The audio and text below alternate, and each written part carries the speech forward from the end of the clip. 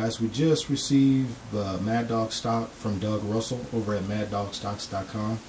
Um, if you're familiar with AirForce air guns and our Condors or Talon air guns, um, you'll know that Mad Dog uh, and our Doug makes a stock uh, for the actual gun. And what it does is it basically takes all the flex out of the gun, or at least a very high percentage of it. Um, we're going to go ahead and uh, start the unboxing of it. Um, as you can see in front of you, there it is. Let's go ahead and take a look at it and see just how beautiful this thing is.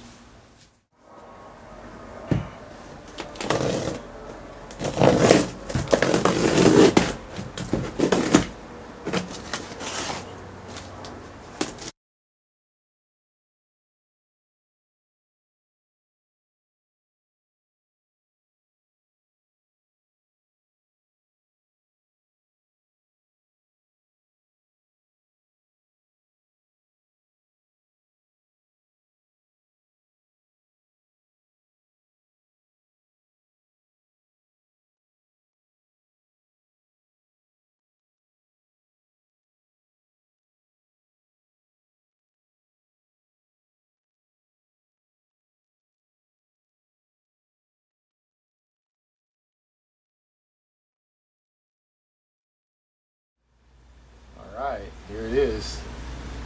Look at this thing. Oh, this is nice. Look at that end cap. Ah, swivel stud end cap here. The hole through the uh, grip for uh, mounting to the uh, Force uh, gun. And what is this? How about that rail for you? Huh? Mount accessories and the swivel stud. So you have the ability to mount a sling right there and there. You have the ability to mount a bipod, a monopod, anything that attaches to a swivel stud, as well as any type of accessories. And the nice thing about it is, um, Doug asked me what all I wanted on it, where I wanted it, and I told him just, you know, put the uh, Weaver base or Picatinny base here, and obviously the uh, end cap here. And this end cap, you can nice another little nice feature is look at this. This adjusts up and down, so if you shoot uh, bench rest, there you go. You're able to do that too. So you can have a bipod up front and use this adjustment and you can shoot it off the bench just like this or off a mat, off the ground, anywhere. So this is another great, great, great feature. This is really nice. So if you guys saw earlier this spinning, it wasn't because he left it loose, it's because that's what it's supposed to be for. Isn't that nice? And I have to admit this thing is really, really light. I mean, real light. Um, what I'm going to do, this probably feels like uh, maybe two pounds at the most, a pound and a half. And a lot of it is probably this swivel. Um, also, the uh, butt pad. Um, so without this and without this, I mean, you can imagine how much lighter it would be. So what I'll do is at the end, I'll put up all the details at the end of the video. The length of it, the weight of it, length of pull, how thick the pad is, the features that come with it. I'll add all that stuff at the uh, very end of it. But like that, isn't that nice? One of the other nice features that he did, um, one of the special things about this stock is that on my TD257, if a lot of you guys watch my video, you're familiar with my gun, I have a bigger bottle. Um, it's bigger in diameter, but shorter in length.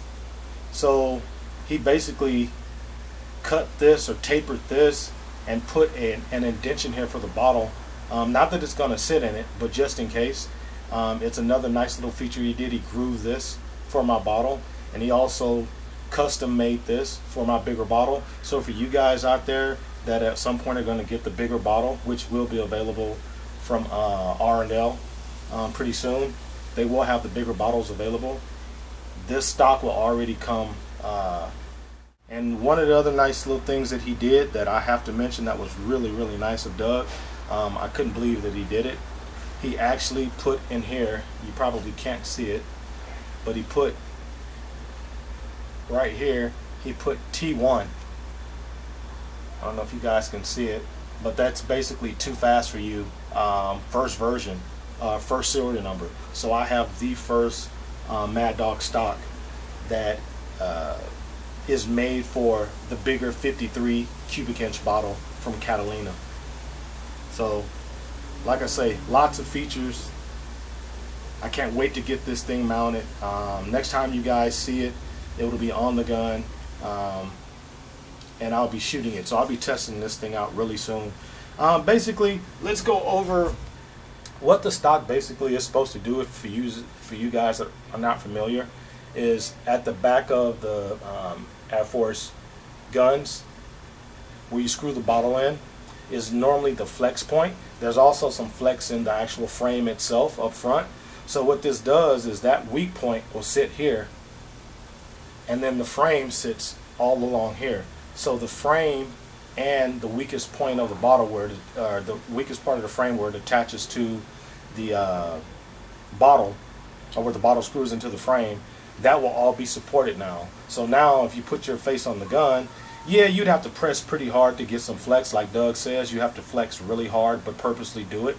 But all in all, if you lay your face on there and you just relax, you don't have to be as sensitive as you do without this stock. So this stock takes all the sensitivity and all the flex out of the gun and makes it more accurate and more consistent.